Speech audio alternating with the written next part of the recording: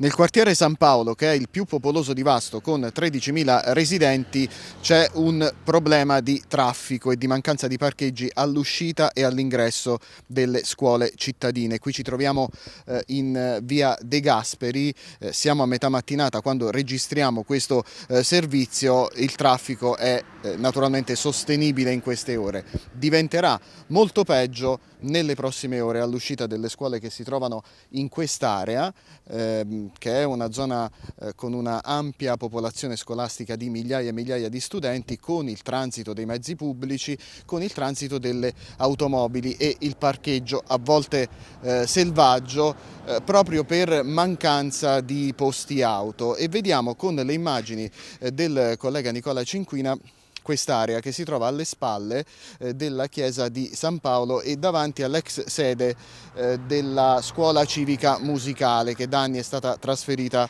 eh, altrove. In pratica qui dove c'era un parco o comunque un'area verde con tanti alberi che sono stati abbattuti eh, tra le eh, polemiche dei residenti e degli ambientalisti, eh, dicevo proprio in questa zona è stato realizzato ed è ormai completato un parcheggio, tra l'altro abbiamo chiesto informazioni proprio all'amministrazione eh, comunale di Vasto che ci ha detto che di fatto è stato anche eh, concluso eh, il collaudo, ma bisogna ancora fissare la data dell'apertura, dell'inaugurazione e eh, anche dell'intitolazione perché sarà eh, intitolata ad un eh, personaggio della città eh, ancora però da definire a chi sarà intitolata questa zona. Sono stati ripiantumati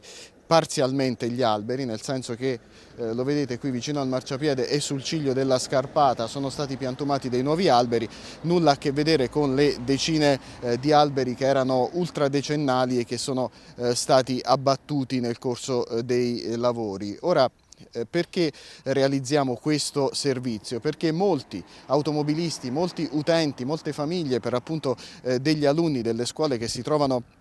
in quest'area lamentano la mancanza di parcheggi e chiedono per l'appunto l'apertura al più presto di quest'area.